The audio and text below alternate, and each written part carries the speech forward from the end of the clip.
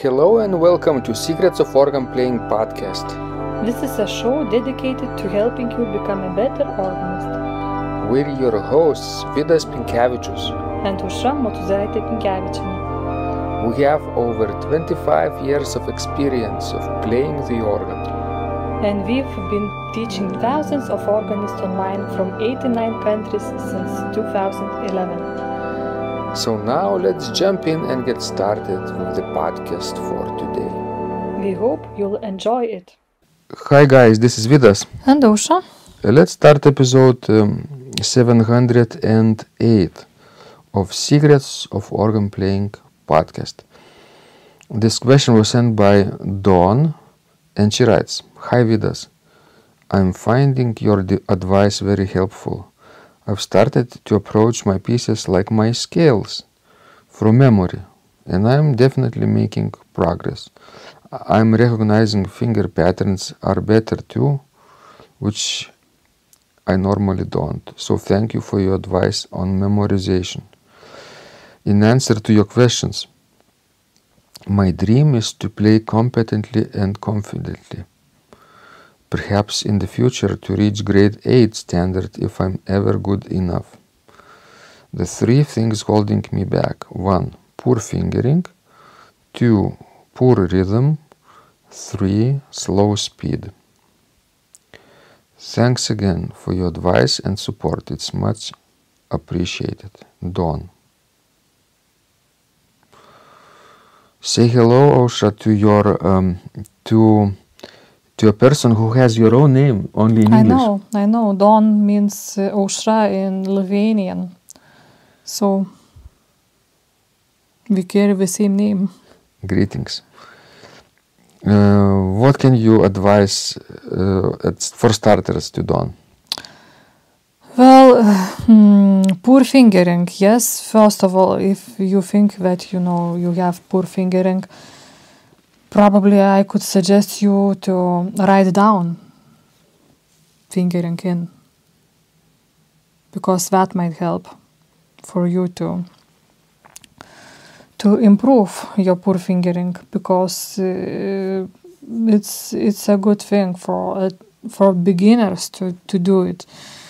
Because otherwise every time you might play the same piece with different fingering and it might confuse you and you might make mistakes. Uh, if Dawn uh, uh, was reading a new, my newsletter, right uh, at the beginning uh, of of signing up, we have I think ten day mini course, and one of the emails uh, was about fingering, how to write fingers, fingering uh, and pedaling as well for for the piece for baroque piece and uh, and uh, romantic piece, legato playing and articulated legato playing. Uh, so I think it would be good for Dawn to review those emails and and as Aušra says, write down fingering in, in her pieces. Um, a good example, of course, would be to to look at our site, uh, Secrets of Organ Playing, where we have some um, some um, fingering and pedaling written in in the scores uh, available for our uh, students, so that you could study how we do it and and that's helpful. Even you could play uh, from those scores as well if you choose the right piece from our collections and archives and catalog. yes that's a good suggestion with us Yeah, so you will find the link, of course, in our um, website organduo.lt. next poor rhythm i think my suggestion would be you know to count and to count loud at the beginning at least this might help you know to solve the rhythm problems. Actually many people many musicians struggle with that. That's that's a common common problem.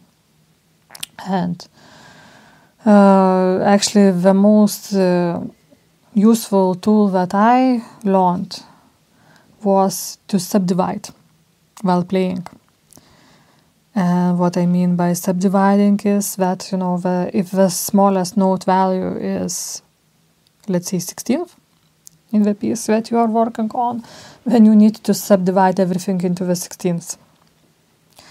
I mean, for example, you are holding a quarter note, yes, and you counting one, two, three, four, yes, because the quarter note would have four 16 notes. Mm-hmm. And you would do that throughout entire piece. That would keep you, you know, the in a good rhythm. You would play the right rhythm, and you could keep, you know, in the right tempo too because no very often people don't like to count we don't like to subdivide some actually use the metronome to help them but i don't think it's you know it's such a good idea. You might check up your tempo with the metronome but you cannot you know constantly play with it because it's it's not helpful it's not musical so subdivision and counting is the best thing. And many people say, "Oh, I'm counting," but we still cannot play right. You know, that's because we are just imagining that we are counting. You really need to do it physically with your tongue. Out loud. Out loud, yes. And even you can record yourself doing that and listen to your uh, recording, and you will find out if you are counting out out loud uh, correctly in the correct um, rhythm, right, and pulse. Yes. And number three, slow speed. Uh, basically, what she means probably is that she cannot play fast, right? Which is Mm. nice. Why don't you? What is wrong with playing slowly, right? Slow music could be played slowly. Yes, but it's too bad that not all music is written, you know, in a slow tempo. So you need to be able to play faster, or you know, in different tempos. So, but, but I think that tempo will come uh, come up. You will speed up with the more practice.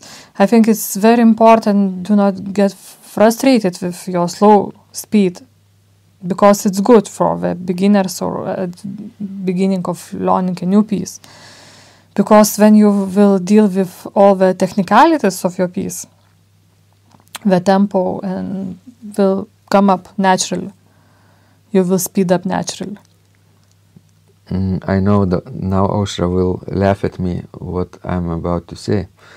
Um, you need to apply my, my 10 step method. Shall I review this from the start? yes but i think i will start yawning very soon Yes, you, you go to sleep and I will uh, finish the episode. Number one, uh, step number one start and stop at the beginning of each beat. If in 4 4 meter there are 4 beats, you start with the first beat, play fast all the notes in between beat 1 and 2 and that's easy because it's a very small fragment. Anybody could do those you know four notes in in sixteenths. You stop and then prepare for the next fragment of four notes. One beat right? And then do the same thing until you reach the end of the piece. With both hands with both feet together right Uh, but very very short fragments and do this a few times until you can do you know, three times in a row without mistakes. That's step number one. And Aušra is actually yawning. what? Aušra? and it's only step number one So it's a good bedtime story.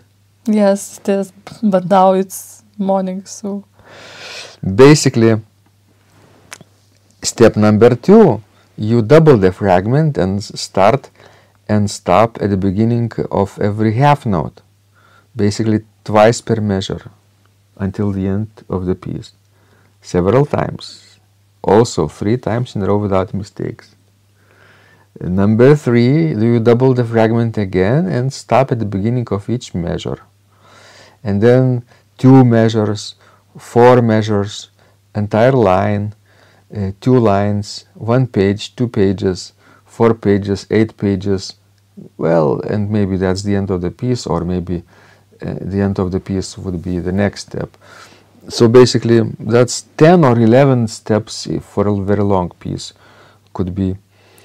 Um, but that's very, very effective way to to get to this fast tempo, fast speed. What do you think, Aušra? Yes, it's a very good way, but you know, in my case, since I'm always working on so much music But at you are not time, a beginner. You see, I it's know, it's I it's know. maybe it's not for you. You don't have these problems. You you you can um, solve the tempo issue naturally, organically, right? But for people like Dawn and others who actually write down this problem for me, for us, uh, this advice is one of the best I could give. I think it's a very good advice. You Yeah, just need to be patient, you know, with it.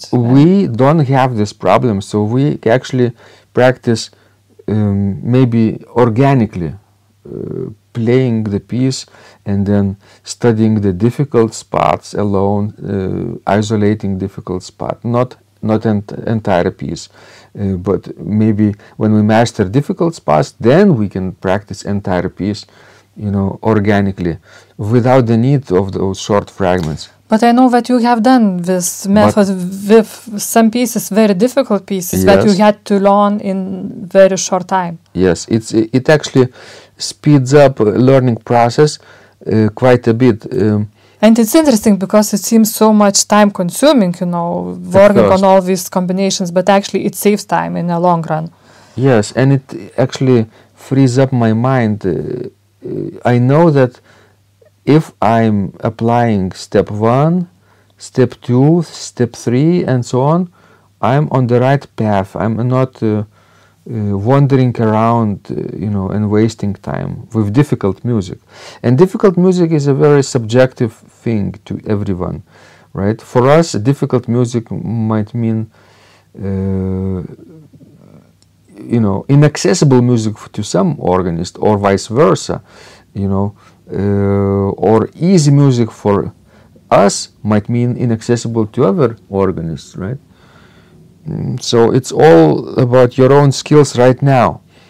And if Dawn is uh, hoping to reach uh, grade 8 skills, which is a very good you know goal because she has goal and usually when people have a goal set up the goal like this for example to reach grade 8 i think it's um, very good because usually we reach their goal yes, and you have to, of course, reach sev- grade 7 Yes, before yes, that, yes, and grade. 6 and 5, and probably uh, that's UK system, uh, right? Mhm. um, and they have examinations. Y- you have to take courses and, and even tests to pass those grades, and uh, obviously that's a very good system to have uh, from the beginning until you reach grade 8 or even uh, I don't know if they have grade 10 for example. Maybe not. Maybe Mhm. grade 8 is the, the highest. I, I- haven't checked lately. But um, but that's a good goal actually. Yes very good. So hopefully uh, this was helpful to Dawn and others. And please send us more of your very specific questions. This was specific enough right Aušra? yes yes this, this was very specific. And we could give you specific answers. And uh, remember, when you practice, miracles happen this podcast is supported by Total Organist, the most comprehensive organ training program online. It has hundreds of courses, coaching, and practice materials for every area of organ playing, thousands of instructional videos and PDFs. You will not find more value anywhere else online. Total Organist helps you to master any piece, perfect your technique, develop your sight reading skills, improvise or compose your own music, and much, much more. Sign up and begin your training today at organduo.lt and click on Total Organist. And of course, you will get the first month for free too. You can cancel anytime. If you need one-on-one coaching, you can check out our page on Buy Me a Coffee platform. Find out more at buymeacoffee.com slash organduo.